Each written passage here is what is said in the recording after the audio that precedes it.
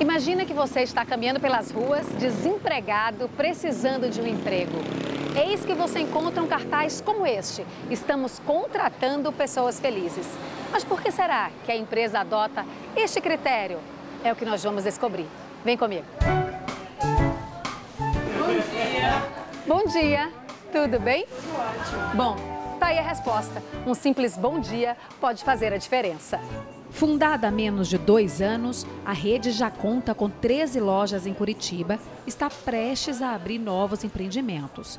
A novidade é o modelo de trabalho, que agora conta com a receita da felicidade. É tão gostoso quando a gente faz as coisas com amor e esse mesmo sentimento nós empregamos, né?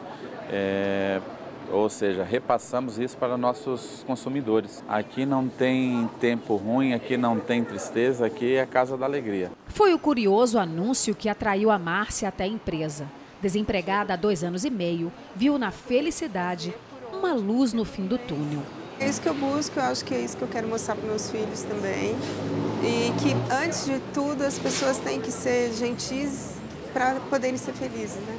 Segundo dados da Organização Mundial de Saúde, estima-se que 5,8% da população sofram com depressão. O Brasil ocupa o quinto lugar no ranking do planeta com maior número de casos da doença. Até 2020, a depressão será a segunda maior causa de afastamento de profissionais. Segundo especialista, ambiente de trabalho saudável tem impacto direto na produtividade. A matemática é simples. Pessoas felizes atraem felicidade. É que as pessoas elas estão muito infelizes no trabalho que elas executam.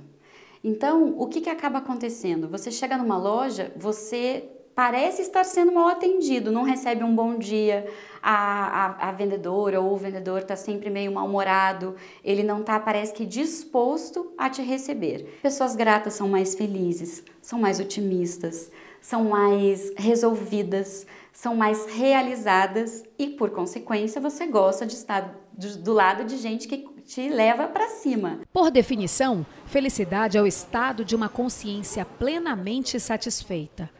Mas esta condição no ambiente corporativo também é responsabilidade do empregador. A felicidade ela é celebrada, então tem todo um código de cultura, um clima de organizacional, um clima de organização, um clima organizacional que deve ser trabalhado para que aquilo seja de fato concretizado e vivido ao longo do dia. Senão a pessoa vai lá, porque lá ela vai, ah, a felicidade é valorizada, vou ser contratada, vou trabalhar.